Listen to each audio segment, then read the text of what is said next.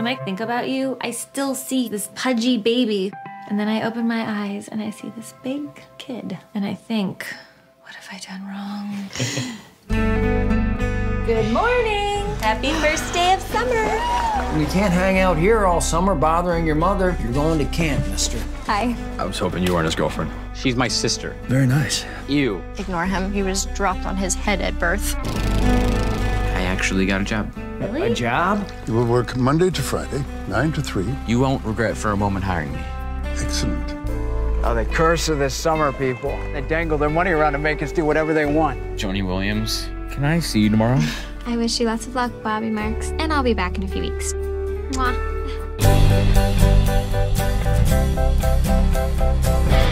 Bye-bye!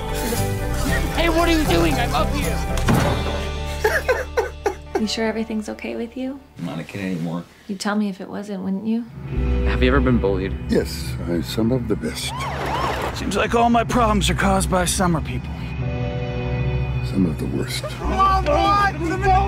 Leave me alone. What's a fat kid like you gonna do? What's going on with mom and dad? Something's up. Don't worry about it. About time you grew up. Hey, I'm grown up.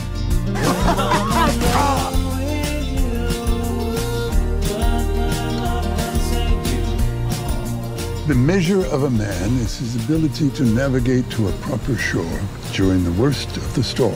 Hey, that's pretty good. I should write that one down.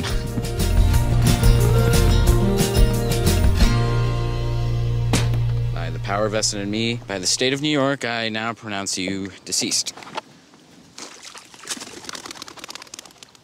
Amen.